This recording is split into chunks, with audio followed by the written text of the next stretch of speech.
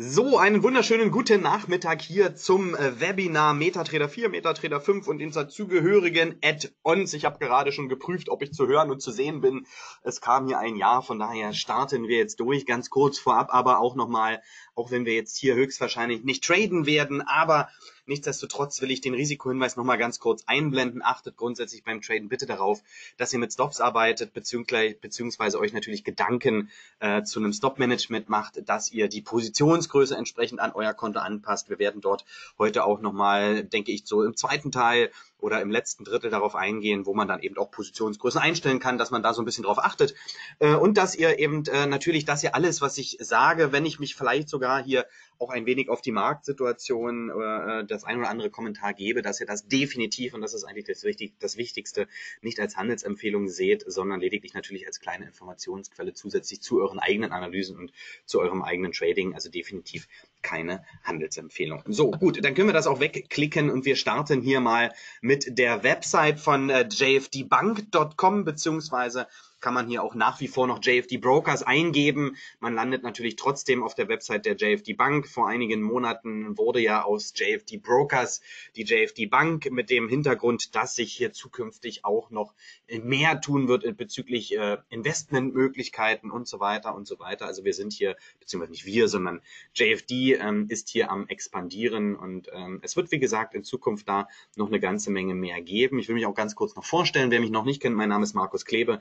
Man kennt mich mittlerweile, ähm, da ich ähm, relativ oft und häufig am Tage bezüglich des Researches äh, für JFD tätig bin. Als ähm, selbstständiger, freiberuflicher ähm, Trader ähm, bin ich hier für JFD tätig und äh, bin hier zum einen ähm, auf dem YouTube-Kanal, da können wir jetzt mal drauf gehen. Ja, wenn wer den YouTube-Kanal von JFD noch nicht kennt, einfach natürlich auf die Seite von YouTube.com gehen und dann geben wir hier einfach oben in dem Suchfeld J, ähm, JFD und dann einfach mal Bank. Moment, JFD Bank eingeben, Enter drücken logischerweise, das kennt man und dann landet man hier schon bei dem Kanal. Darunter sieht man dann schon den Christian Kämmerer und auch meine Wenigkeit mit entsprechenden Livestreams. Dann geht man hier einfach mal auf den YouTube-Kanal drauf und ähm, dann hier entsprechend mal auf Videos und dann sieht man, dass wir hier ähm, doch ein ganz äh, größeres oder größeres, weit gefächertes Angebot haben ähm, an Livestreams, täglichen Livestreams, also wo wir zu bestimmten Uhrzeiten hier auf dem YouTube-Kanal online gehen, die aktuellen markttechnischen Situationen abklopfen.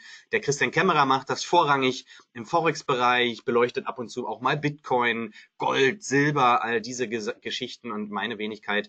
Ich konzentriere mich natürlich auch auf so die Major-Währungen oder eben auch mal auf die Commodities wie Öl oder Gold, aber vorrangig am Morgen geht es hier um den DAX und natürlich auch immer mit dem Blick auf die US-Indizes und am Nachmittag beleuchten wir etwas vorrangiger die US-Indizes und dann natürlich auch ähm, die Währungen gegebenenfalls oder eben auch Gold.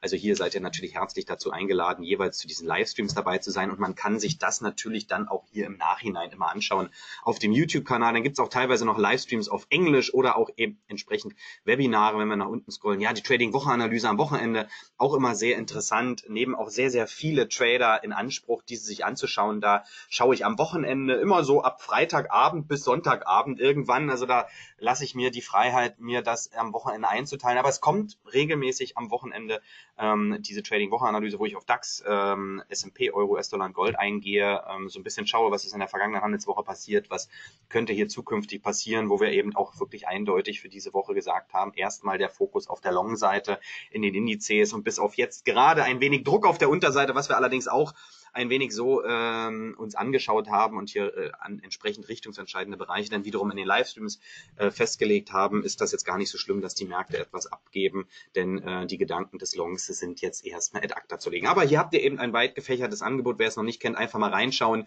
Wenn ihr da irgendwie Fragen habt, könnt ihr natürlich zum Trading. Ihr habt jedes Mal die Möglichkeit, live Fragen zu stellen in den Livestreams, aber dann eben auch, und da gehen wir zurück, auf die Seite von JFD unter dem Punkt Research, unter dem Punkt Webinare und Events habt ihr die Möglichkeit, dann entsprechend diese Livestreams dann auch wieder zu finden. Aber zusätzlich, was nicht aufgezeichnet wird, auch nicht öffentlich zur Verfügung steht, haben wir regelmäßig einen Live-Trading-Room, der auch von meiner Seite dann abgehalten wird oder vorrangig. Wir planen jetzt auch zukünftig, dass vielleicht mal ein, ein, ein paar andere Trader dann auch äh, ihr Können zu unter Beweis stellen oder dann eben auch diesen Live-Trading-Room mal abhalten werden. Aber wir hatten das heute zum Beispiel morgens um 9.15 Uhr. Gestern hatten wir dann auch nachmittags einen Live-Trading-Room um 15 Uhr. Jetzt haben wir gerade hier diesen äh, das Webinar. Und da habt ihr die Möglichkeit dann einfach ähm, euch hier, genauso wie ihr euch jetzt hier für dieses Metatrader-Webinar angemeldet habt, einfach draufklicken, auf Anmelden gehen und dann ist das relativ einfach, dass man sich dann auch für diesen Live-Trading-Room anmelden kann. Und ich muss es, oder ich wiederhole es gerne natürlich immer wieder, weil immer auch wieder die Frage kommt, Mensch, wie kann ich mich denn nur anmelden? Für diejenigen, die neu sind, ja klar, das ist relativ einfach, kostenlos, keine großartigen Probleme. Und da geht's morgen dann zum Beispiel auch wieder um 9.15 Uhr, nachdem wir diesen Livestream DAX Long oder Short gemacht haben, ist das quasi so ein nahtloser Übergang, kurze Pause und dann rede ich hier im Prinzip weiter. Und hier ist natürlich auch der Fokus dann wirklich auf dem Live-Trading und eben auch weiter schauen, wie kann man die Analyse dann gegebenenfalls in Trades umsetzen. Da liegen wir auch relativ häufig recht gut. Also das ist schon recht interessant. Wir können uns ein bisschen austauschen und vor allem, ihr habt immer wieder die Möglichkeit, Fragen zu stellen zu allem Möglichen, was das Thema Trading betrifft. Und nächste Woche geht's dann auch weiter mit dem Live-Trading rum. Also schaut hier gerne rein. Gut, dann starten wir hier nochmal mit der Startseite und es geht ja vorrangig heute darauf oder darüber, darum, so, dass wir uns entsprechend äh, mit dem Metatrader und mit dem Metatrader Add-ons beschäftigen. Dafür geht gerne hier auf den Punkt Trading auf der JFD Bank Seite dann einfach, Moment, dann einfach hier mal auf den MetaTrader 4 oder auf MetaTrader 5 klicken. Ja, das ist erstmal relativ egal. Klickt da gerne drauf. Und äh, dann scrollt hier, ähm, sehe ich gerade im Chat, äh, David schreibt, gut, dass es euch gibt. das li liest man natürlich gerne, wenn man hier helfen kann und ähm, auch äh, natürlich eben mit Rat und Tat zur Seite steht. So, also ihr klickt einfach dann auf den Punkt Trading, dann auf den Punkt MetaTrader 4 und dann landet ihr wiederum bei einer Unterseite. Da könnt ihr euch dann Informationen erstmal durchlesen zum MetaTrader, aber ihr habt natürlich die Möglichkeit, dann hier zum einen den MetaTrader runterzuladen. Ja, das sind wir sonst immer durchgegangen. Klickt hier einfach drauf, das ist relativ selbsterklärend. Ich möchte es heute heute gar nicht machen, ähm, sondern möchte eben euch kurz zeigen, wie kann man denn diese Add-ons, die wir uns gleich im MetaTrader anschauen werden, entsprechend installieren. Dafür sollte man natürlich vorher auch den MetaTrader installiert haben, also hier dann eben auf äh, Registrieren Sie sich gehen, dann eben gegebenenfalls Demo auswählen, wenn man erstmal sich versuchen möchte mit Spielgeld sozusagen oder man kann natürlich auch gleich ein Echtgeldkonto eröffnen. Das geht alles unter dem Punkt Registrieren selbsterklärend und ihr findet unter anderem eben auch auf dem JFD YouTube-Kanal ähm, Videos, wo ich dann auch diese Registrierung erklärt habe. Scrollt euch einfach durch.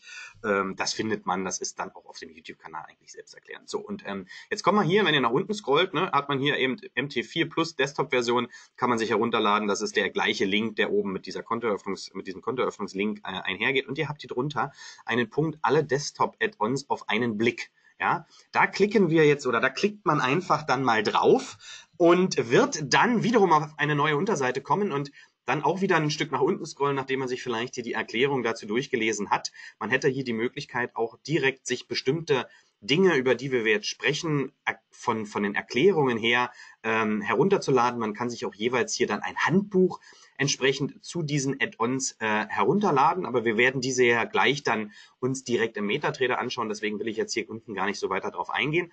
So, und jetzt habt ihr hier die Möglichkeit, MT4 Plus oder eben entsprechend MT5 Plus, euch die Add-ons runterzuladen. Hier ist es wichtig zu wissen, welchen MetaTrader man installiert hat und ich würde an dieser Stelle grundsätzlich empfehlen, wer eben neu durchstartet, sich gleich mit dem MT5 zu beschäftigen, ähm, erst gar nicht auf den MetaTrader 4 gehen. Der hat im Endeffekt aktuell noch den Vorteil, wenn man sich mit diversen externen Indikatoren beschäftigen möchte, wenn man dort eben äh, ja irgendeinen Anbieter hat oder wer sich eben mit EAs auseinandersetzt, also mit Handelssystemen. Da ist es so, dass es mitunter bestimmte Anbieter gibt, die sich ähm, noch nicht auf den MT5 spezialisiert haben, sondern diese ganzen Angebote, die man da gegebenenfalls äh, erwerben kann, teilweise auch kostenlos bekommt, dass diese dann nur für den MT4 äh, da sind und nicht für den MT5. Alles andere äh, ist in meinen Augen äh, irrelevant und man kann sich direkt auf den MT5 stürzen, denn hier ist es ja auch möglich, dann entsprechend Aktien zu handeln, reelle Aktien über JFD, was man mit dem MetaTrader 4 nicht machen kann. Da kann man zwar CFDs auf Aktien handeln, äh, was im kurzfristigen Handel jetzt auch nicht so einen großen Unterschied macht. Im längerfristigen Investmentbereich ist es schon ein Unterschied und da macht sich das Ganze natürlich dann interessant im MetaTrader 5. Wir bleiben mal bei MetaTrader 4, weil ich den aktuell auch immer noch nutze.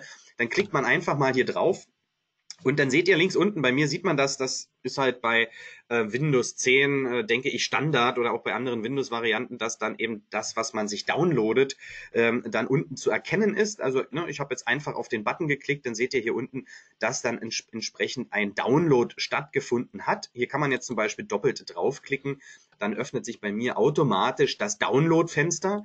Ähm, wenn man das eben äh, nicht hat oder nicht findet, dann einfach mal den Explorer aufmachen, also hier einfach diesen, diesen Ordner, diese Ordnerfunktion auswählen und dann hier einfach mal suchen, dann hat man den Punkt Downloads. Ja, den findet man bei mir jetzt hier zweimal und dann ist dieser Punkt Downloads offen. Dann seht ihr, dass ich jetzt hier entsprechend ähm, ja, diese JFD MT4 Apps nennt sich das jetzt hier an dieser Stelle einfach doppelt klicken. Ähm, Jetzt kommt hier irgendwo ein Fenster, ich weiß nicht wo. Äh, Moment, muss ich mal kurz schauen, warum das jetzt hier. Äh, ich habe jetzt nochmal doppelt drauf geklickt. Ja. Bestätige dieses Feld, was jetzt hier kommt. Ah, jetzt geht's los, genau. Weiß ich nicht, was da jetzt eben war. So, und jetzt öffnet sich automatisch schon ein Menü. Ja, und das ist relativ einfach. Ich installiere es jetzt für mich nicht, weil ich es ja schon habe, aber so ist es relativ einfach. Ihr geht dann einfach auf Install und dann ist das Ganze wiederum ähm, selbsterklärend und ähm, dann ähm, zeige ich euch gleich, wie man das dann eben auch sieht im MetaTrader, ob es funktioniert hat. Solltet ihr hier Probleme haben, könnt ihr natürlich gerne an den Support schreiben oder eben auch mich kontaktieren in den entsprechenden Livestreams, Live-Trading-Räumen um dann entsprechend ähm, dort ja gegebenenfalls die Fragen zu beantworten. Somit klicke ich das jetzt weg. Ihr, wenn ihr es noch nicht habt, klickt dann einfach auf Insta und dann installieren sich entsprechend dann auch diese Add-ons. Gut, dann gehen wir weg von der Website und gehen zum Markt. So, ähm, der MetaTrader ist ja grundsätzlich, um das nochmal abzukürzen, eine Handelssoftware, wo man äh, entsprechend alles, was angeboten wird, an, an Märkten quasi handeln kann, beziehungsweise sich erstmal vorrangig natürlich vom Chart her darstellen lassen kann. Und man benötigt natürlich idealerweise irgendwie eine Software, ähm, um an, an der Börse aktiv zu werden. Ja, und ähm, diese, diese Aktivität kann man eben hier entsprechend mit einer Chart-Software vollziehen. Wenn man das eben neu öffnet, dann hat man hier unten nicht ganz so viele Reiter, wie ich sie habe. Ich habe hier sehr, sehr, sehr, sehr, sehr, sehr, sehr, viele Märkte offen. Das äh, kann man dann hier eben mit dieser Pfeil, mit diesen Pfeiltasten immer hin und her klicken. Aber das können wir vielleicht später alles nochmal durchgehen. Ich denke, die meisten von euch sind da auch schon ein Stück weiter und kennen sich so ein bisschen mit den MT4 aus. Ansonsten gerne dann auch im nächsten Webinar oder eben auch in den Videos, die da schon vorherrschen. Da gehe ich auch nochmal eben grundsätzlich auf viele, viele Basics ein, die jetzt hier äh, erstmal für heute nicht ganz so eine große Relevanz haben sollten. So, wie kann ich denn jetzt schauen, ob zum einen die MetaTrader Add-ons schon installiert sind für meinen MetaTrader, beziehungsweise wie kann ich diese dann sozusagen aktivieren? Äh, wichtig ist immer nochmal, wenn ich das installiert habe, also diesen Installationsprozess, den wir jetzt gerade durchgegangen sind, wenn man das voll durch, durchgezogen hat und man findet hier die ähm, Add-ons, ich zeige euch das gleich mal gleich, wo man exakt draufklickt, man findet das nicht, dann einfach nochmal den MetaTrader schließen, ja, einfach hier oben einmal auf das Kreuz klicken, rechts oben und dann eben mit dem entsprechenden Icon den MetaTrader wieder öffnen, ja, also quasi einmal resetten und dann sollte man hier dann, äh, wenn man alles richtig gemacht hat, spätestens dann entsprechend auch sehen, ähm, dass diese Add-ons online sind. Wie finde ich das jetzt? Ähm, man kann zum einen auf den Punkt, also hier ist so ein kleines Icon. Das ist alles ähnlich auch im MT5. Also jetzt gehen wir das natürlich im MT4 durch, aber der, der grundsätzliche, äh, der grundsätzliche Kern, den ich jetzt hier erkläre, der ist äh, genauso im MT5. Ihr sucht euch zum einen entweder hier oben den Punkt Navigator ja, das ist hier in diesen ganzen Bildchen hier oben drin, in den Icons, oder ihr geht auf den Punkt Ansicht und sucht euch hier den Punkt Navigator. Ja, also entweder auf Ansicht hier oben klicken und dann Navigator anklicken. Man könnte sogar STRG und N klicken, dann öffnet sich das auch. Oder man klickt hier direkt, wenn man das Icon hat, ähm, auf dieses Icon. Ich klicke jetzt einfach mal auf dieses Icon und dann öffnet sich hier links quasi so einen ähm, Navigator, Navigator, weil ich damit eben äh, durch diese ganzen Indikatoren etc. durchnavigieren kann. So, und dann öffnet sich das, wer das von früher kennt, so war ja früher Windows aufgebaut mit den ganzen Ordnern, ja. Ähm, und dann ist es hier wichtig, nicht den Punkt Indikatoren sich anzuschauen, sondern vorrangig erstmal den Punkt Experten. Ähm, ich lese mal ganz kurz, kommt eine Frage. Ähm, so, ähm, Hans fragt hier, kann man den MT4 und MT5 auch, auch äh, auf einen USB-Stick installieren, wenn man verschiedene Computer hat? Nein, ähm, in, meinen, äh, meiner Ansicht nach geht das nicht. Ähm, man kann aber ohne Probleme auf all diesen Computern den MetaTrader installieren das ist ja kein Problem, das kann man ja immer wieder machen. Man, man bekommt ja, wenn man eben den Anmeldeprozess durchläuft, eben entsprechend den Link zum Installieren. Den kann ich dann auf den verschiedenen äh, Rechnern dann einfach mal den, den MetaTrader installieren. Ähm, habe ich auch so gemacht. Ich habe den MetaTrader auf all meinen Rechnern und ich habe eine ganze Menge davon. Habe den auf allen meinen Rechnern drauf und dann kann ich gleichzeitig, auch wenn ich, ähm, ich habe jetzt zum Beispiel mit diesem Konto hier zwei Rechner laufen. Ja? Äh, einer steht eben auf dem anderen Schreibtisch und ich kann auf beiden Rechnern in diesem Konto agieren, ja, oder man Stop verschieben oder sowas. Und das, das funktioniert. Also die, das beißt sich dann nicht, ja. Und ich kann auch, wenn ich jetzt einen Hauptrechner habe, wo ich vielleicht auch all meine Einstellungen mache, dann kann ich mir entsprechend, aber ich will sogar so in die Tiefe jetzt gar nicht gehen, man kann sich dann entsprechend die Vorlagen abspeichern und die Vorlagen wiederum einfach auf den USB-Stick ziehen, dann auf dem nächsten Rechner einfach die Vorlage in den Vorlagenordner packen und dann sieht das Ganze vom Layout genauso aus, ähm, beziehungsweise kann man eben äh, ja sogar, Moment, gehen wir mal kurz drauf, das Profil hier speichern, ja, und dann kann man sich dieses Profil runterziehen ähm, und äh, entsprechend beim nächsten MetaTrader 4 oder 5 dann entsprechend installieren. Also das geht, ja. USB-Stick-Installation geht meines Erachtens nicht so einfach, weil er ja auch in die Registrie des Rechners reingeht. Ja. Gut, also das dazu. Gut. Ähm, zurück zu den Add-ons. Wir hatten ja gesagt, Navigator öffnen, dann hier Experten öffnen. Und dann sehen wir hier alles, was mit JFD davor steht. Das sind diese Add-ons, mit denen wir uns jetzt beschäftigen. Ihr seht, dass ich hier zum Beispiel auch nochmal irgendwann den Stereo, Stereo Trader, das ist ja auch nochmal so, ein, so eine Add-on-Software, äh, irgendwann mal ähm, probeweise installiert hatte, ähm, dass ich hier auch noch irgendwelche anderen ähm, Indikatoren oder eben äh, Add-ons mit drin habe. Das ist nicht viel. Ähm, vorrangig geht es jetzt darum, um, um diese JFD-Add-ons. Jetzt lese ich nochmal ganz kurz. Ähm, Ah ja, Casa, gehe ich gleich nochmal drauf ein, ähm, auf die Frage, ja. So, also JFD. Und dann gibt's hier den Alarmmanager, Korrelationsmatrix, Korre äh, Korrelationstrader, Excel, äh, RTD, Market Manager und so weiter. Ja, und wir gehen jetzt einfach mal von oben nach unten alles durch. Ich möchte euch grob äh, von oben nach unten mal erklären, was ist das überhaupt, was kann man damit machen, inwiefern kann es einem beim Traden helfen ähm, und ähm, inwiefern muss man vielleicht auch den einen oder anderen Punkt beachten, ähm, wenn man damit tradet, weil es ist teilweise so, ähm, gerade diese Funktion äh, Steals Orders, ähm, dass dann entsprechend die Orders teilweise nicht auf dem Server liegen und wenn dann eben äh, der Rechner abstürzt oder man den MetaTrader schließt, dass dann die Orders gar nicht so im Markt liegen, wie man das gerne vielleicht möchte. Also das ist ein wichtiger Punkt und da gehen wir jetzt einfach mal relativ zügig von oben nach unten das Ganze durch. Starten wir mit dem Alarmmanager. Wie kann man das jetzt alles aktivieren? Ich mache es einfach immer so. Ich glaube, man kann auch doppelt klicken, aber ich nehme also ich habe die Maus in der Hand, bin mit der Maus ja jetzt über dem Alarmmanager, klicke die linke Maustaste, dann ähm, markiert sich das so und ziehe jetzt einfach mit der gehaltenen linken Maustaste diese ähm, dieses, dieses Feld, ihr seht, die Maus ist so ein bisschen mit so einem Viereck darunter, einfach ins Chartbild rein und lasse die linke Maustaste los. Zack, kommt ein Fenster. Hier immer, also auch wenn man Indikatoren installiert, wenn man äh, Add-ons installiert, kommt in der Regel dann nochmal ein Fenster, wo man diverse Einstellungen machen kann. In der Regel braucht man hier nicht großartig was, was tun, sondern das kann man meistens bestätigen, weil die Grundeinstellungen eigentlich schon so weit eingestellt sind, dass das alles äh, dann funktioniert. Aber man kann sich das gerne immer nochmal durchlesen und anschauen. Vielleicht kann man noch irgendein Häkchen machen, was einem viel mehr zusagt. Oder eben auch wichtig, hier unten zu schauen, Live-Trading äh, zulassen. Also wenn man jetzt hier, ähm, man kann teilweise mit den Add-ons auch in den Add-ons handeln, ja, also dort Orders eingeben. Und dafür muss natürlich Live-Trading zulassen aktiviert sein. Wenn man allerdings sich erstmal immer nur ausprobieren möchte, und eben nicht Gefahr laufen möchte, dass man aus, auf einmal ähm, eine Order live stellt. Deswegen, ich nehme das Häkchen jetzt hier auch mal raus, ähm, weil ich habe hier in den meisten Webinaren, in den live, meisten Livestreams immer ein Live-Konto dahinter. Ja, ich handle nicht auf ein Demokonto oder sowas. Auch in den ganzen Livestreams, äh, Live-Trading-Räumen sind ist es immer ein Echtgeldkonto und auch kein Konto, wo nur 1000 Euro drauf sind. Also hier stecken zum Beispiel, also bei diesem Konto jetzt sind äh, Start, äh, zum Start waren 25.000 drauf. Äh, aktuell ist das natürlich dann eben entsprechend ein bisschen mehr, weil ich Gott sei Dank in den letzten Monaten auch ein bisschen Profit gemacht habe. Äh, es ist allerdings äh, nicht das Konto, was ich hauptmäßig handle. Also manche Trades ähm, werden hier äh, nicht, äh, mache ich hier mehr, manche Trades mache ich hier weniger, aber das tut jetzt auch nicht zur Sache. Ich will trotzdem, wenn ich nicht ausprobiere, hier den Live-Handel nicht zulassen, klicke dann einfach auf OK.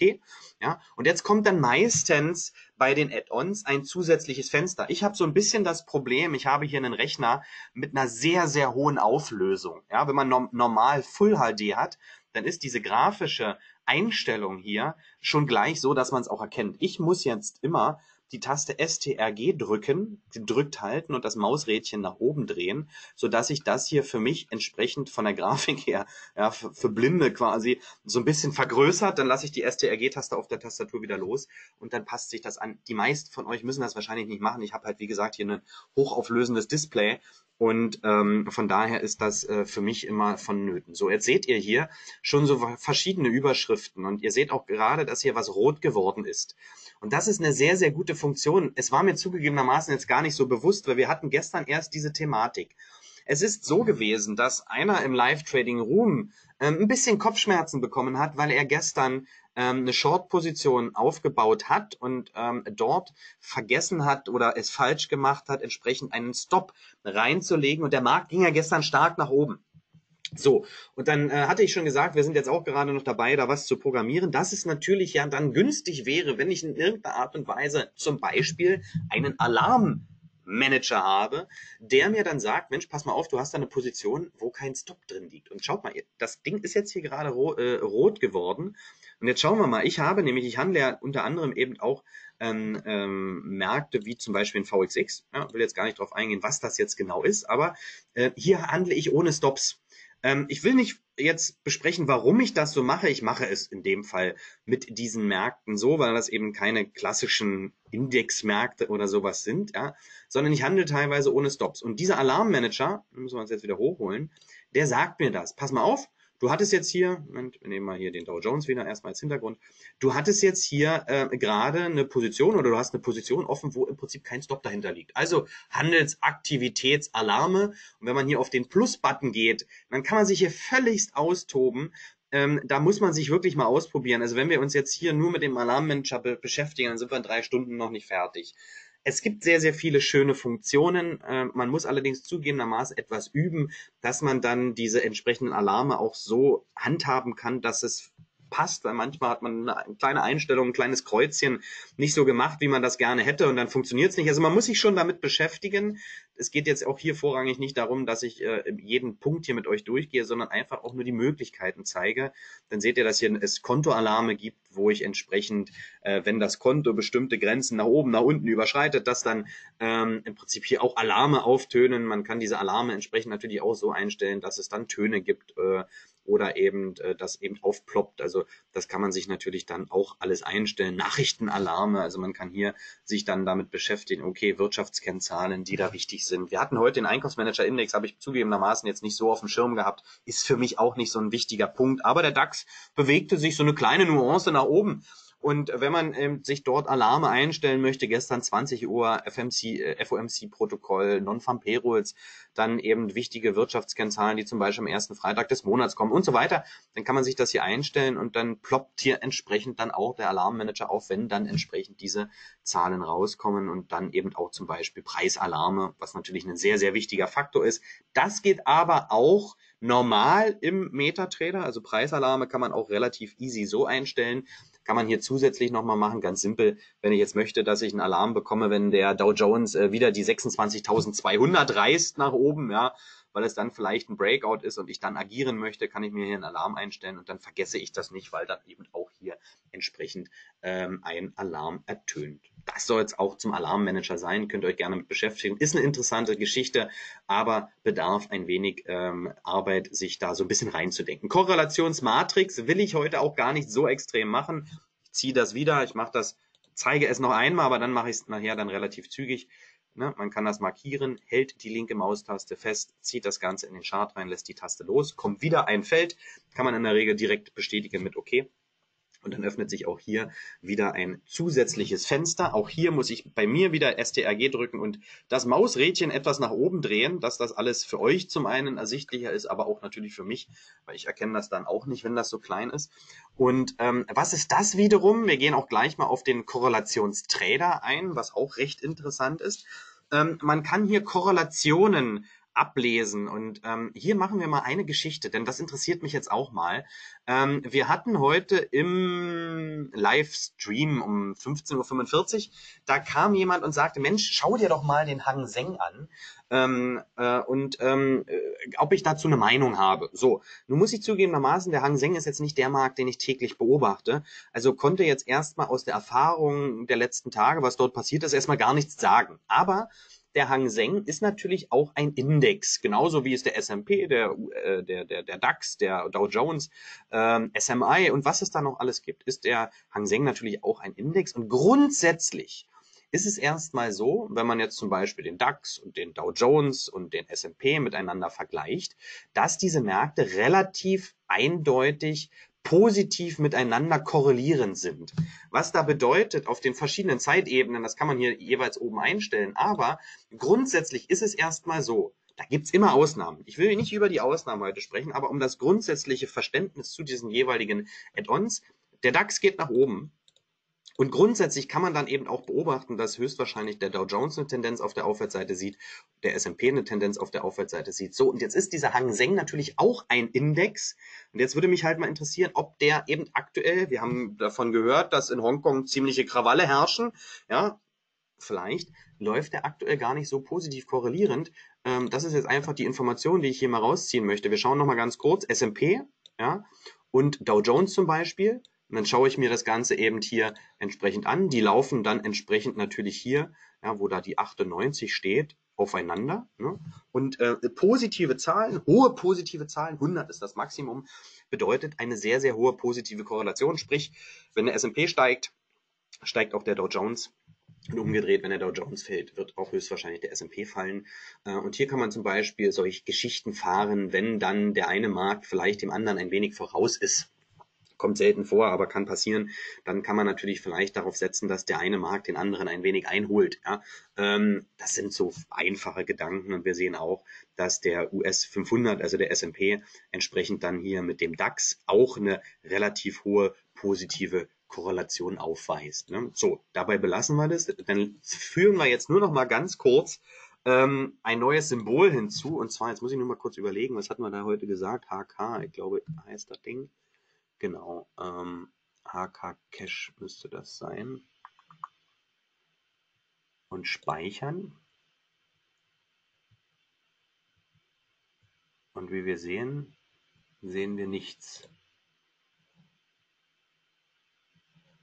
Moment, damit ich selber erstmal gucken. Also normalerweise, Vorführeffekt, müsste das funktionieren. Ach so, hier hinzufügen muss ich erst klicken.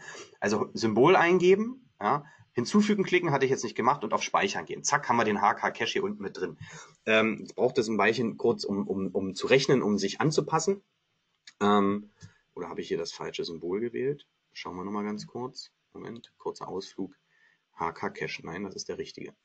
So, gehen wir wieder zur Matrix zurück. Drücken wir nochmal kurz F5.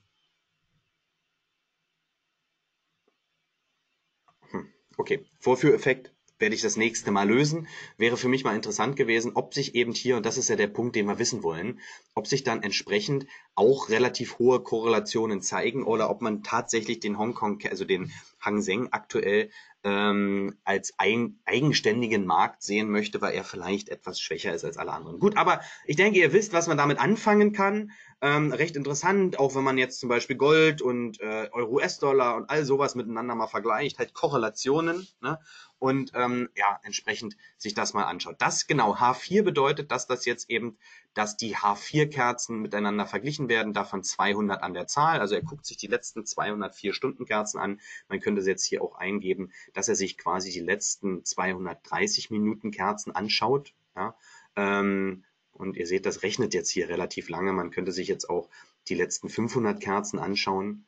Ähm, ja, und äh, 30, jetzt schaut er im Prinzip die Korrelation der letzten 530 Minuten Kerzen sich an. Ja, und da sehen wir auch, dass wir zum Beispiel in den Indizes auch dort relativ hohe Korrelationen haben. Man könnte jetzt hier eben auch schauen, wie verhält sich das im 5-Minuten-Chart. Also da muss man sich auch mal so ein bisschen durchkämpfen und äh, sich einfach mal damit beschäftigen. Wenn ihr dazu Fragen habt, wie gesagt, kommt gerne in den Live-Trading-Room oder in die Livestreams. Ja, das ist eigentlich mehr für ein Live-Trading-Room, dass wir da eventuelle Fragen und, und Ansätze einfach mal miteinander besprechen. Ja, okay. Nächster Punkt, Korrelationstrader. Ziehen wir auch einfach wieder rein, bestätigen das mit OK. Und hier ist im Prinzip genau das, was ich euch gerade erklärt habe, nochmal optisch dargestellt. Ähm, ähm, Okay, Ralf, beantworte ich gleich, wie ich ein Fadenkreuz einblenden kann. Gehe ich, gehe ich gleich nach diesem Add-on drauf ein, zeige ich dir relativ einfach. Das ist total easy, beziehungsweise können wir es gleich machen. Schau mal hier oben. Ähm, es gibt hier verschiedene Button. Ja, einmal den Pfeil, den haben wir. Und wenn du hier auf das Fadenkreuz, auf dieses Kreuz klickst, ja, und dann wieder im Chart bist, dann hast du im Prinzip dein Fadenkreuz. Ja, relativ easy. Ähm, äh, nur, dass man dann hier, wir klicken mal das kurz weg. Ne, ich klicke mal hier drauf, ne, zack, dann habe ich so ein Fadenkreuz. Und wenn ich dann einmal in den Markt reinklicke mit der linken Maustaste, ist dieses Fadenkreuz wieder weg. Dann habe ich wiederum nur die Maus. Dann muss ich wieder hier oben aufs Fadenkreuz klicken und dann kann ich eben oben und unten entsprechend dann Kurs oder Zeit ablesen. Ja? Ähm, also das ist äh, relativ easy und äh, relativ simpel. So, gehen wir mal auf den Korrelationstrader und heute lädt wieder mal alles relativ lange. Deswegen mache ich es jetzt fast mal theoretisch.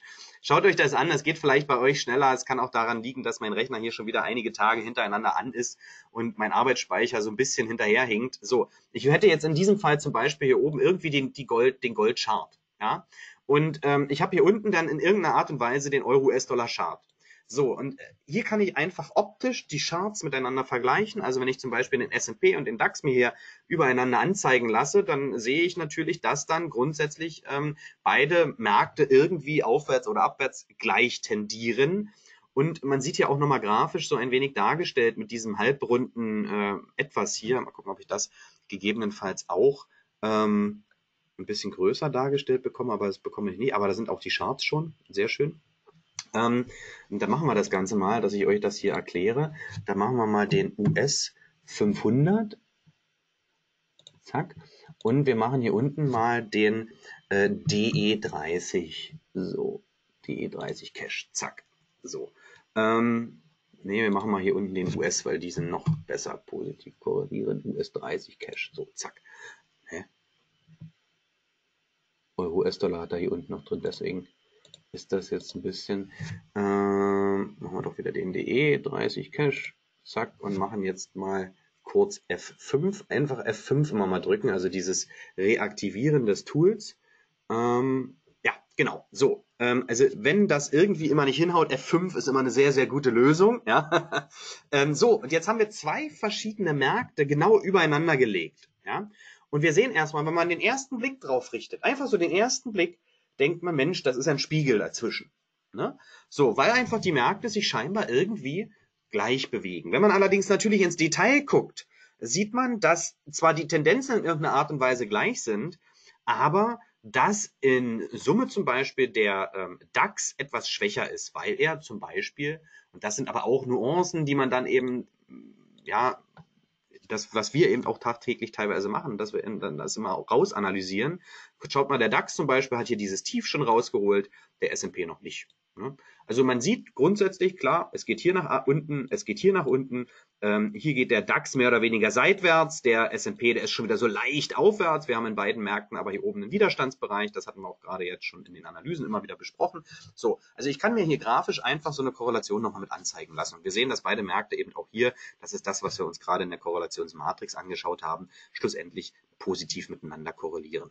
Ne? Ähm, die, den Nutzen dessen ist einfach, dass man sich Märkte und wenn man einfach mal eine Frage hat, ne, wie ist dann jetzt zum Beispiel, weiß ich, der kanadische Dollar mit dem Öl korrelieren? Denn das sind ja auch so zwei Märkte, die eigentlich miteinander zu tun haben, ja. Gold mit dem Euro, US-Dollar, Gold mit irgendwelchen Indizes und so weiter, um hier einfach zu wissen, okay, wenn jetzt zum Beispiel ein starker Move im Gold kommt, die US-Märkte oder generell die Indizes aber noch gar nichts tun, vielleicht kann man daraus dann sogar einen Trade machen, dass man sagt, Mensch, die Korrelation bei der Märkte ist eigentlich so und so. Der eine Markt pusht schon stark. Ich gehe mal davon aus, dass dann der andere Markt das vielleicht aufholt oder äh, irgendwie einen entsprechenden Move deswegen macht. Also somit ist diese Korrelations, äh, dieser Korrelationstrader natürlich auch relativ interessant. So, wir überspringen dieses Excel-Tool wir überspringen erstmal den Market Manager. Ähm, wir überspringen erstmal, das werden wir am Schluss noch äh, eingehen, das Mini-Terminal, gehen nochmal ganz kurz auf den Sentiment Trader ein. Und jetzt wird's eigentlich für euch, jetzt wird's auch schnell, wir gehen das relativ zügig jetzt durch, denn diese Tools sind bei, meinen, bei meiner kleinen Auflösung leider Gottes dann auch sehr, sehr klein. Ähm, ich will euch nur erklären, was das ist, Sentiment. Ähm, Im Endeffekt ist es so, vielleicht kennt ihr das Euwax-Sentiment. Wer es nicht kennt, Sentiment-Indikatoren äh, weisen ja ähm, Stimmungen auf. Also wie sind Marktteilnehmer ähm, positioniert, beziehungsweise wie sind aktuelle Marktmeinungen. Und dieser Sentiment-Indikator, der misst hier die Meinung beziehungsweise die Positionierungen der Marktteilnehmer der Kunden von JFD. Und äh, wenn man jetzt hier, äh, weiß ich jetzt, hier ist der US-Dollar japanische Yen drin, wie gesagt, relativ klein, ich krieg's leider nicht größer hier zumindest und ich kann das nochmal versuchen. Doch, ich würde es größer kriegen, aber ich kriege das Fenster halt nicht größer. Ähm, wir haben jetzt hier aktuell US-Dollar, japanischer Yen drin und hier sind äh, die Marktteilnehmer leicht positiv. Also die, ähm, die Positionierungen sind etwas mehr long tendierend als short tendierend. Ja? Und ähm, hier kann man einfach sich Gedanken machen. In der Regel sind Sentiment-Indikatoren Kontraindikatoren. Also nicht selten ist es halt so, wenn man einen starken Überhang auf der einen oder anderen Seite hat, dass der Markt genau das Gegenteil macht.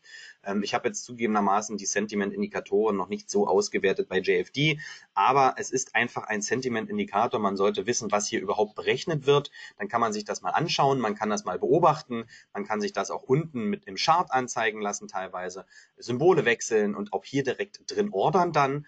Und äh, man sollte einfach wissen, wie gesagt, Sentiment, Marktmeinung äh, der aktuellen Positionierungen der Kunden. Und ähm, das besprechen wir zum Beispiel auch immer in den Livestreams, Live Trading Room, Euwax Sentiment, Fear and Greed Index in den USA und so weiter. Genau das sind auch ähm, Sentiment-Indikatoren, die eben Marktstimmungen messen. Ganz kurz erklärt, was das Ganze ist. Session Map auch interessant.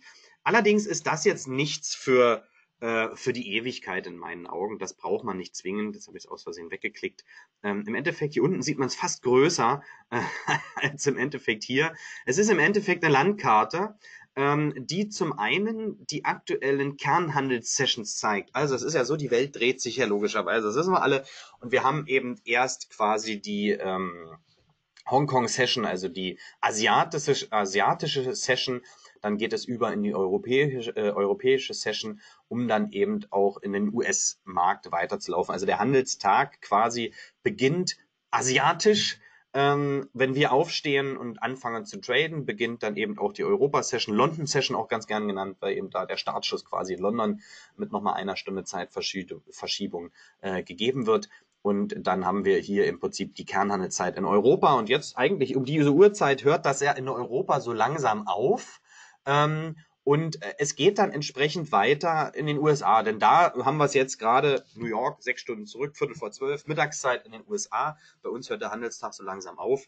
Klar, die Märkte laufen hier auch noch weiter. Auch die Märkte grundsätzlich äh, laufen ja teilweise fast 24 Stunden. Aber es geht hier um die Kernzeit und die Kernzeit geht eben in den USA dann auch wiederum in den USA äh, bis zum Abend. Somit ist dann als letztes die US-Session und dann geht's ja schon fast wieder los mit der asiatischen Session. Und das wird hier einfach grafisch dargestellt. Plus, und das ist dann nochmal interessant, sieht man unten, ihr seht so ein bisschen orange und grün, äh, orange und rot, äh, einfach wichtige Wirtschaftskennzahlen, die hier teilweise dann in dieser Grafik, die dann zu bestimmten Uhrzeiten rauskommen. Da sieht man, okay, unten, da kommt irgendwann bald was Rotes und dann muss man sich einfach mal damit beschäftigen, was ist das, ist das interessant oder nicht. Und das bedeutet halt diese Session Map. Ja? Ähm, Steals Order können wir überspringen. Das ist im Endeffekt ein Tool, wo ihr auch Orders eingeben könnt. Ähm, hierzu ganz kurz zur Erklärung. Grundsätzlich ist es so, wenn ich jetzt hier ähm, eine Order platziere, ja, wenn ich jetzt sage, okay, ich, ich lege eine Verkaufsorder jetzt rein, Market von mir aus, also draufdrücken, Order drin, zack, dann ist die Order quasi auf dem Server von JFD beziehungsweise ähm, ist quasi scharf, wenn man es mal so nennen möchte. Und sobald der Markt ähm, äh, quasi dorthin kommt oder ähm, wenn ich auch einen Stop habe, ähm, und der Markt kommt dorthin, dann wird der natürlich sofort ausgelöst. Ja, also es liegt direkt auf dem, auf dem, auf dem Server. Ja, und somit kann ich dann natürlich, wenn diese Order, wenn sie einmal eingegeben ist, dann kann ich natürlich auch diese, die Software schließen, weil die Order liegt ja auf dem Server. Ja, kann die Software schließen, kann den Rechner mitnehmen, kann den nächsten Straßenkaffee wieder aufklicken, äh, macht die Software wieder an, sehe meine Order, kann sie natürlich wieder verändern. Wenn zwischendurch aber irgendwas passiert ist, gerade was Stops betrifft, Take Profits betrifft, dann würden diese Orders dann auch ausgeführt werden, wenn mein Rechner dicht ist, aus ist, abstürzt, Stromausfall, was auch immer. Ähm, wenn ich dieses äh, Steelers, Steelers Order, wie man es auch immer ausspricht, ähm, nutze, das ist eine, eine Möglichkeit, Orders auch einzugeben, aber sie liegen noch auf dem Rechner und werden erst dann zum Server weitergeleitet, wenn sie dann angetouched werden vom Markt. Ähm, das hat den Hintergrund, wenn man zum Beispiel bei einem Market Maker agiert, der natürlich dann als Gegenpartei auch all meine Orders sieht und so ein bisschen Schiss habe, dass der dann eben einfach schön meine Stops fischt, ja, äh, oder in Summe vielleicht die Stops fischt, da wo mein Stop auch liegt und habe da so ein bisschen Schiss vor, dann kann ich natürlich diese Situation nehmen. Wir sind bei JFD aber nicht beim Market Maker, sondern wir haben als Gegenpart nicht einen, einen Market Maker, sondern wir haben einen Liquiditätspool, wo zwar auch im Endeffekt Market Maker dahinter stehen, aber eine ganze riesen Bandbreite. Und von daher ist in meinen Augen diese Order oder diese Möglichkeit hier eigentlich nicht äh, äh gerechtfertigt oder benötigt man nicht, weil einfach diese diese diese dieses Stop Phishing, wie das gerade früher schon praktiziert wurde von Market Makern in diesem Sinne eigentlich hier gar nicht besteht. Ja, aber man hat dann eben auch die Möglichkeit zu ordern. Die Orders liegen dann auf dem Rechner. Nachteil an der Geschichte, wenn ich den Rechner ausmache, passiert da auch nichts. Ne? Ähm, also dann ist der Rechner aus, weil die Order liegt auf dem Rechner. Wenn ich den Metatrader schließe, dann ist dicht, Schluss, vorbei. Da wird nichts weitergeleitet und das kann natürlich gefährlich werden, gerade wenn es um Stops geht oder so und äh, der Rechner stürzt ab und ich habe eine offene Position und kann den Rechner irgendwie auch nicht schnell reaktivieren, habe vielleicht auch nur einen Rechner.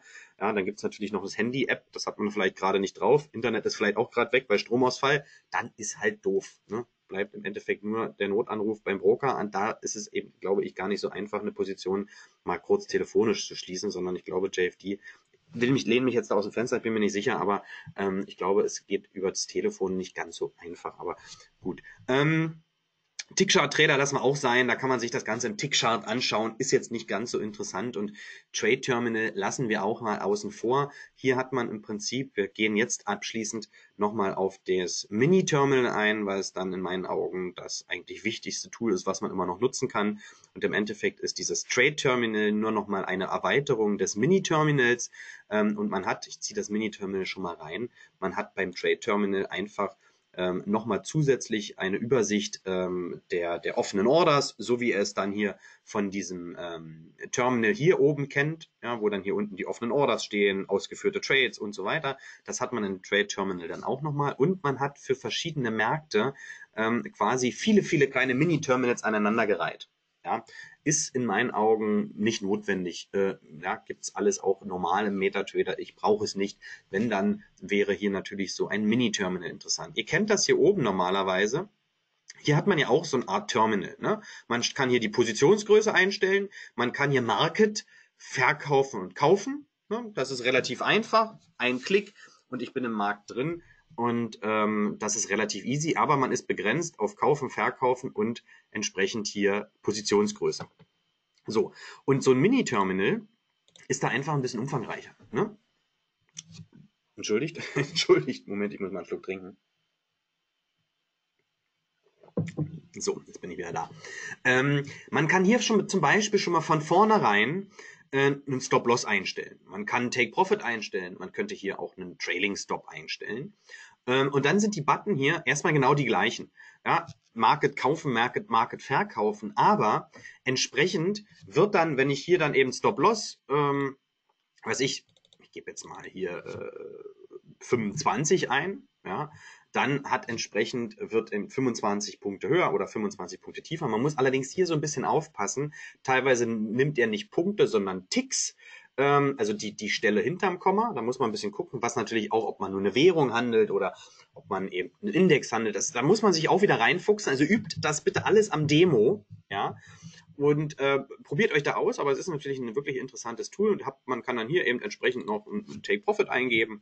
So, und wenn ich jetzt dann eben kaufe zum Beispiel, dann wird eben automatisch wenn ich dann die Order eingebe, die dann natürlich hier dann Jetzt kaufen wäre ja hier dann eben der, der Kauf, diese Kauflinie zu sehen und automatisch würde sich dann hier 25 Punkte tiefer entsprechend die Stop-Order platzieren und entsprechend 50 Punkte höher zum Beispiel der Take-Profit. Ja, das mache ich immer zwar händisch, um eben ja, Fehler vorzubeugen, Fehlern vorzubeugen, auch immer wirklich sicher zu sein, okay, passt das auch so, ist natürlich Mehraufwand ähm, und der eine oder andere möchte diesen Mehraufwand nicht haben und hat dann eben hier die Möglichkeit, entsprechend ähm, das zu automatisieren quasi. Ne? So, man hat aber auch noch viel mehr Möglichkeiten. Ich lese nur mal ganz kurz nochmal die Fragen. Ähm, so, ähm, Genau, also Ralf, das beantwortet sich zum Beispiel jetzt hier so ein bisschen mit. Ralf fragt an der Stelle, gibt es die Möglichkeit, einen automatischen punkteabhängigen Stop setzen zu lassen? Und das machen wir jetzt hiermit. Das ist sonst nicht ganz so einfach. Wir sind zwar gerade dabei, mit unserem Programm, also mit meinem Hausprogrammierer hier nochmal so ein Panel zu programmieren, aber hier habe ich natürlich mit diesem Mini-Terminal genau diese Möglichkeit. Ich kann natürlich, ich muss keinen Take-Profit einsetzen. Ne? Das kann man bei Null lassen und wenn ich jetzt hier entsprechend kaufe oder verkaufe, entspricht hier dann eben automatisch oder ist dann automatisch quasi der Stop im Markt drin. Also einfach mal ausprobieren, gerade hier gucken, was man an Zahlen eingeben muss. Das ist teilweise äh, je nach Markt ein bisschen unterschiedlich. Ja? Ähm, und dann geht es eben auch grundsätzlich um die Positionsgröße. Ja, wir haben jetzt hier Lots 0,1 und hier kann man dann auch grundsätzlich halt entsprechend die Positionsgröße, ganz simpel, das ist ja nichts Kriegsentscheidendes, dann eben entsprechend die Positionsgröße ändern und dann weiß ich, okay, zwei CFDs oder zwei Lots, wie auch immer, ähm, dann eben mit dem Stop 25 kaufen, verkaufen, entsprechend wird der Stop natürlich drüber oder drunter automatisch gesetzt, ne, ganz klar. Ähm, so, gibt es auch für den MD5 das Tool, um fünf Ein-Minuten-Kerzen in der Fünf-Minuten-Kerze anzuzeigen. Wie heißt es?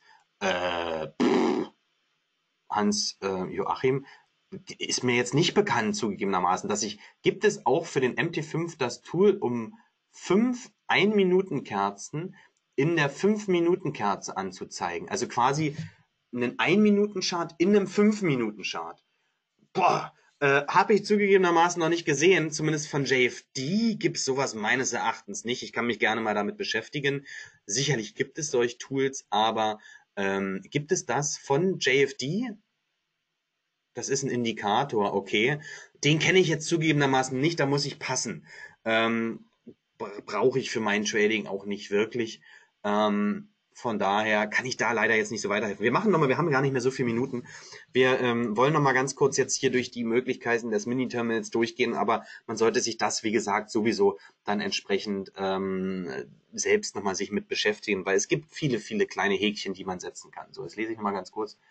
Muss, äh, musst du Heiko Behrendt fragen, schreibt der Thomas. M-Candle Indikator, Codebase Candle in Candle. Okay, ja, also da kenne ich mich nicht so aus. Ähm, scheinbar hat Heiko Behrendt so ein, so ein Indikator. Ähm, ja, gerne dann da mal fragen. So, also gehen wir nochmal hier. Man hat den Punkt Einstellungen, ja, und automatische Aufgabe und man hat hier oben nochmal so ein rotes Häkchen oder so ein rotes Feld, äh, Order platzieren oder eben Order Möglichkeiten vorher einzustellen. Und hier wird es noch ein bisschen detaillierter. Wir hatten jetzt hier automatisch Stop-Loss äh, automatisch Take Profit. Und wenn ich auf diesen grünen Knopf drücke, öffnet sich wiederum ein Fenster. Ich muss wieder meine SD-Karte nehmen. Hier geht's leider nicht. Ähm, also das wird natürlich bei euch größer dargestellt. Bei mir ist es relativ klein. Ich kann es jetzt hier auch nicht größer stellen. Aber man kann sich jetzt hier wiederum auch nochmal so fertige Order-Templates erstellen, um im Endeffekt dann auch das Ganze noch ein bisschen detaillierter zu machen, ähm, kann diese schlussendlich dann auch speichern und äh, dann wieder hervorrufen. Also beschäftigt euch einfach mal damit. Ähm, da kann man dann entsprechend auch nochmal die Trailing Stops ein bisschen besser einstellen und so weiter. Leider Gottes jetzt bei mir zu klein, um jetzt hier auch mit euch das durchzugehen. Gehen wir auf den blauen Button hier oben Einstellungen. Ähm, ah, hier ist es, nee, hier kann ich es größer drehen wiederum. Ja, so. Ähm, und jetzt habt ihr hier wiederum nochmal so Punkte wie Terminal andocken, frei, äh, Chart freigeben, ähm, Autofunktionen einstellen beziehungsweise Einstellungen. Ähm, wenn ihr auf Chart freigeben geht, und da kam letzte Mal die Frage, das letzte Mal im Add-on-Webinar die Frage, wie kann ich denn, ähm, aktuell ist es ja so, dass dieser Chart hier im Hintergrund ja quasi mit dem MetaTrader 1 ist. Ne? Also ich kriege jetzt den Chart nicht aus der eigentlichen Software raus. Ne? Ich kann ihn zwar ähm, hier kleiner machen, ja, ja, jetzt habe ich diesen US-Markt hier kleiner gemacht, aber hier ist alles Grenze. Ne? Ich kann das nicht rausschieben. So, ähm, ich kann jetzt allerdings, machen wir den erstmal wieder groß, ähm, in diesem Mini-Terminal frei, Chart freigeben klicken. Ja? Äh, muss ich nur gucken, wo er hin ist. Ist er weg? Ach, doch, hier oben ist er. ja, und jetzt, Moment, bevor ich jetzt klicke ich einen kleinen, äh, ein bisschen, ziehen wir den erstmal so ein bisschen größer. So, machen wir den größer. So, zack. Und jetzt kann ich den Chart rausschieben. Zack, weg ist er. Jetzt habe ich den auf meinem anderen Bildschirm hier. Ne? Jetzt kann ich den in den, in den dritten, in den vierten Bildschirm hier ziehen. Äh, und zack, jetzt muss ich wieder im Kreis gehen und dann komme ich wieder zurück mit dem Chart und kann das hier quasi frei bewegen. Und das ist natürlich sehr, sehr interessant, gerade wenn man mit einem Rechner arbeitet, der größere, ähm, der mehrere Rechner hat, kann ich das natürlich dann variabel platzieren und ich kann theoretisch den Metatrader schön mir anordnen auf sechs verschiedenen Bildschirmen oder so. Ne? So, jetzt klicken wir hier wieder drauf. Ähm, nehmen halt, aufs Blaue muss ich klicken und ähm, gehen jetzt hier wieder auf Chart andocken, heißt es dann, glaube ich, wieder. So, zack. Und jetzt ist das wieder rückwirkend. Ne? Jetzt ist der Chart wieder drin. Ne? Also ich kann dort Mini-Terminal öffnen, dann kann ich jeden Chart im Endeffekt freigeben. Ja? Machen wir das wieder groß. Also das ist auf jeden Fall eine sehr, sehr interessante Geschichte, wenn man schlussendlich ähm, ja, mehrere Bildschirme hat und das ähm, dann eben verteilen möchte. Gehen wir wieder auf diesen blauen Punkt. Ähm, scroll ich das wieder größer, das ist ein bisschen nervig entschuldigt, aber das ist eben bei mir so. Ähm, jetzt können wir nochmal Terminal andocken, das ist genau das gleiche, was jetzt das Terminal betrifft. Ja, aktuell ist das quasi freigegeben. Jetzt habe ich es wieder auf einem anderen Bildschirm. Ich kann das ohne Probleme nach oben, nach unten überall schieben. Und wenn ich Terminal andocken mache, dann ist wiederum das Terminal auch quasi mit dem MetaTrader verbunden. Ich kriege es nicht raus. Ja, so ähm, gehen wir nochmal auf den Punkt Einstellungen. Und jetzt kommt wieder der Punkt, wo ich es nicht größer schieben kann. Leider Gottes. Ihr könnt es, wenn ihr es schon habt, geht hier mal durch. Man kann ja auch noch diverse Einstellungen machen, wieder bezüglich dieses Mini-Terminals. Ich muss wirklich ganz dicht rangehen. Das ist bei mir extrem klein. Jetzt, wenn ihr mich jetzt sehen würdet vom Rena. Ähm, äh, da steht Bestätigung von Sofortkauf und Sofortverkauf. Okay, das ist zum Beispiel ein schöner Punkt, wo ich dann nochmal eine Bestätigung klicken möchte, dass ich nicht aus Versehen ähm, kaufe oder verkaufe. Das passiert natürlich auch hin und wieder. Ne? Wenn ich jetzt hier ähm, quasi irgendwie mit der Maus agiere am Rechner und dann aus Versehen auf den Sell- oder Buy-Button komme, dann ist es ja aktuell so, dass sofort die Order drin ist. Ne? Und wenn ich das natürlich dann mal aus Versehen mache, habe ich auf einmal eine Order online äh, und wenn ich das dann vielleicht dummerweise nicht mal mitbekomme und auch nicht den an, am Anfang erwähnten Alarmmensch offen habe, der mir hier offene Positionen äh, zeigt, beziehungsweise mich alarmiert, pass auf, da ist eine Position ohne Stop, ähm, dann kann das mitunter ein bisschen blöd laufen. So, und von daher könnte man hier, ich habe es nicht für mich, aber man kann es hier einstellen, im Prinzip diese Häkchen reinsetzen und dann würde man nochmals, ich gehe auf Buy, dann kommt nochmal ein Button, willst du kaufen? Ja, will ich. Und dann würde man halt quasi einfach die Order nochmal bestätigen und dann gehe ich nochmal eine Position tiefer, Bestätigung, dass alle Positionen geschlossen werden. Ähm, gut, da weiß ich jetzt gar nicht, ähm, inwiefern das dann eben ähm, funktioniert. Und äh, genau, das ist nochmal wichtig hier. Darunter steht Hatching ausschalten. Ähm, es ist ja grundsätzlich so, aktuell, wenn ich eine ähm, Position oder Metatrader grundsätzlich, ich kann ja Long- und Short-Positionen gleichzeitig eingeben. Ne? Also ich kann eine, eine Long-Position halten und ich kann eine Short-Position halten, was grundsätzlich keinen Sinn macht. Ja, wenn ich eine Long-Position habe und eben eine Short-Position habe, bin ich netto null. Ja, weil die Long-Position äh, wird verdienen und die Short-Position wird im gleichen Maße verlieren. So, äh, jetzt wird der eine oder andere sagen, naja, dann gehe ich eben drei Long und nur zwei Short, naja, dann bin ich netto aber nur eins Long. Und ähm, wenn ich das eben hier ausschalte, dann ähm, kann man das im Prinzip so machen, dass ich dann wirklich nur die Netto-Positionen habe. Also wenn ich eine, eine das ist zum Beispiel auch fürs Ausscalen oder irgendwas interessant. Also wenn ich jetzt hier drei CFDs Long habe und ähm, gehe dann im Prinzip zwei Short, dann bleibt eins Long übrig. Ja, ähm, und dann wird eben nicht die Short-Position eröffnet und gleichzeitig die Long-Position, sondern es wird im Prinzip gegengerechnet sozusagen. Das ist eigentlich sinnvoll.